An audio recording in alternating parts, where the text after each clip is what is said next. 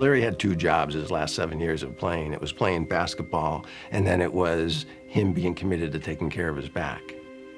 He had first heard it in 1985, building the driveway at his mom's house back in French Lick. Larry decides to do it himself. This is Larry Bird, the superstar, out there breaking his back, literally shoveling gravel. And that, that was the beginning of a process. I would see him on TV laying down and and then they told me that he had to lay down on planes, different things like that. And I was like, wow. As Magic soared through the prime of his career, Bird was breaking down. His deteriorating back and punishing style of play proving an excruciating mix.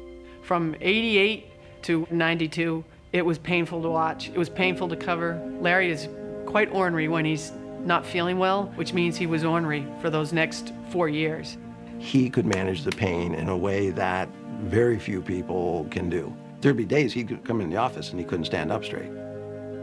But even after two ruptured Achilles tendons and surgery on his back in 1991, Bird kept going to work. Product of a lesson learned many years before, seeing the swollen ankle of a man long since gone. Well, we don't know if it broke or not, but it looked broke to me. Had to go to work and had to get his boot on, and it took everything I had to help him get that boot on his foot.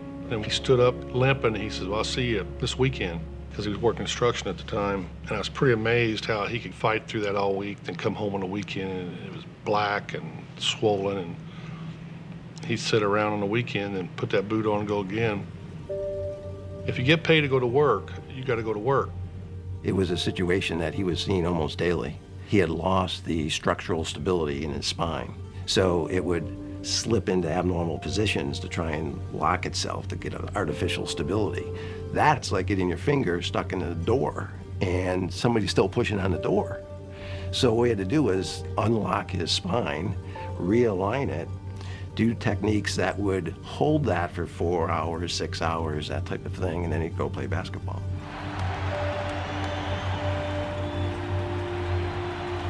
Every time I would play. I was wondering if I was going to be in a wheelchair. Was I ever going to be able to, you know, walk on the beach or hold my kids? His pain and his quest for basketball became all-encompassing. Very few people really knew what Larry was living with because this was Larry's issue, and there was no sharing of his pain.